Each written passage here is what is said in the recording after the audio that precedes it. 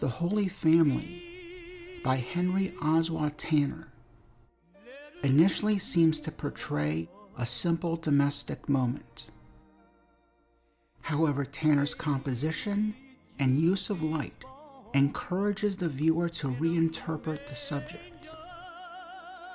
Depicting a moment not specifically described in any of the Gospels, Tanner's painting imaginatively expands the biblical narrative.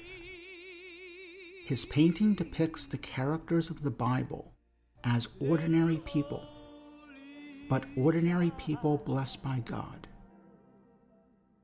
This realizes Tanner's purpose of making sacred subjects more accessible. This home interior is simultaneously universal and specific. The space is universal in that there is nothing that locates it in any particular time or place. In Tanner's painterly technique, the room and its contents are suggested rather than described. Nevertheless, in a general way, the painting's setting evokes the Holy Land. The shadowed figure of Joseph stands off to one side of the room. He gazes adoringly at Mary. Although he is not central to the narrative, Joseph models for the viewer an attitude of devotion. Sitting on the floor, Mary looks towards an unseen light source. As this light illuminates her face, it also transforms Mary's white headscarf into a sort of halo. In Tanner's painting, this light is also symbolic of Christ's incarnation. In fact, the viewer might not be immediately aware of the infant Christ as he sleeps beside his mother. In a painting that unites the ordinary and the sacred, Tanner's composition draws the viewer towards a recognition of Christ. Tanner's painting highlights how Mary has been transformed by divine grace. She seems to be experiencing a moment of revelation. The infant at her side is both her son and Savior. Tanner depicts Mary in this moment of spiritual metamorphosis as an example for the viewer to consider.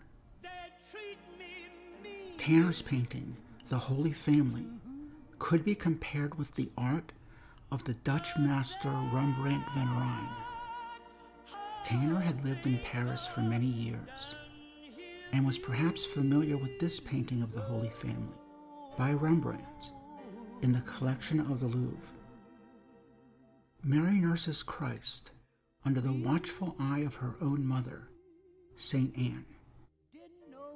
Both Rembrandt and Tanner depict the family in a domestic space that is also Joseph's workshop.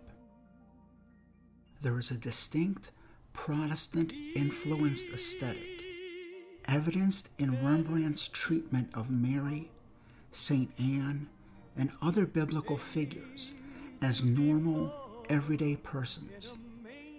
They are regular people made holy by the power of grace. The success of Tanner's art is that, like Rembrandt, he was able to visualize biblical subjects as human drama. His art makes the Holy Family human.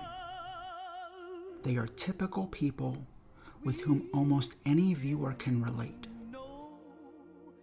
This painting visually absorbs the viewer into a world that is being spiritually transformed by grace. By first depicting the Holy Family in an ordinary domestic space, and then visualizing how they are blessed, Henry Ossawa Tanner encourages the viewer to look for spiritual significance in the incidental moments of our own lives. Amen.